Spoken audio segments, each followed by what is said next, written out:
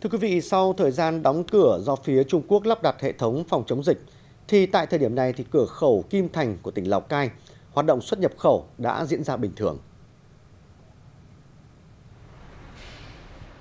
Từ ngày 16 tháng 12 đến nay, trung bình mỗi ngày tại cửa khẩu Kim Thành, tỉnh Lào Cai có gần 400 xe làm thủ tục thông quan, trong đó có gần 200 xe làm thủ tục xuất khẩu, chủ yếu là các mặt hàng nông sản của Việt Nam như sắn khô, lạc và ván bóc.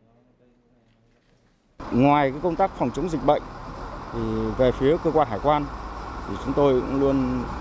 có các cái giải pháp để thúc đẩy xuất nhập khẩu. Như là thứ nhất, như là tạo điều kiện thuận lợi cho doanh nghiệp, đảm bảo rút ngắn thời gian thông quan, hỗ trợ cho các doanh nghiệp trong các khâu thủ tục hải quan. Thì chúng tôi cũng tuyên truyền cho doanh nghiệp vấn đề liên quan đến chính sách phía nước bạn để doanh nghiệp có những cái hướng thuận lợi cho kênh kinh doanh để tránh cái vấn đề hàng hóa lên đây ùn tắc. Tỉnh Lào Cai cũng đang đề xuất với phía bạn chuyển một số mặt hàng xuất khẩu nông sản từ đường bộ sang đường sắt để giải tỏa áp lực cho cửa khẩu quốc tế đường bộ số 2 Kim Thành. Từ đầu năm 2021 đến nay, kim ngạch xuất nhập khẩu qua cửa khẩu Lào Cai đạt gần 1,2 tỷ đô la Mỹ, trong đó xuất khẩu đạt 601 triệu đô la Mỹ. Cục Hàng không Việt Nam vừa có yêu cầu đối với các hãng hàng không nhằm đáp ứng nhu cầu đi lại của người dân trong dịp cuối năm và Tết Nguyên đán sắp tới. Cục Hàng không Việt Nam yêu cầu Tổng Công ty Cảng Hàng không Việt Nam tăng cường công tác kiểm soát, bảo đảm an ninh, an toàn hàng không, xây dựng phương án phục vụ bố trí nguồn nhân lực bảo đảm phục vụ tốt, an toàn các chuyến bay, đáp ứng nhu cầu đi lại của nhân dân. Đối với các hãng hàng không Việt Nam, Cục Hàng không Việt Nam yêu cầu các hãng xây dựng kế hoạch tăng chuyến, đặc biệt trong giai đoạn cao điểm đáp ứng nhu cầu đi lại của nhân dân.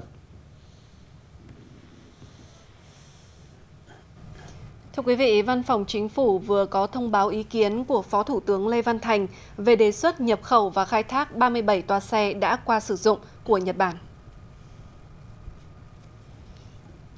Phó Thủ tướng Lê Văn Thành không đồng ý nhập khẩu và khai thác 37 toa xe như ý kiến của Bộ Giao thông Vận tải. Phó Thủ tướng giao Bộ Giao thông Vận tải và các cơ quan có liên quan thực hiện theo đúng Nghị định số 65 của Chính phủ về luật đường sắt Bộ cũng cho rằng các toa xe cũ không được phép khai thác tại Việt Nam do niên hạn sử dụng đã quá 40 năm. Do vậy, Bộ không ủng hộ nhập khẩu và khai thác những toa xe này tại Việt Nam.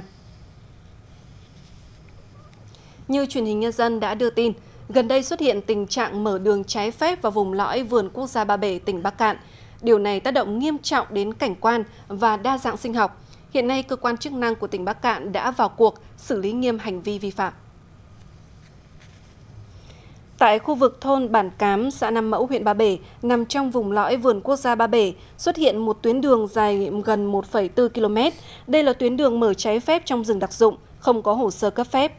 Sau khi truyền hình nhân dân đã có phản ánh, tỉnh Bắc Cạn đã kiểm tra, xác định trạm kiểm lâm khu vực này đã thiếu trách nhiệm để xảy ra vụ việc xâm hại nghiêm trọng.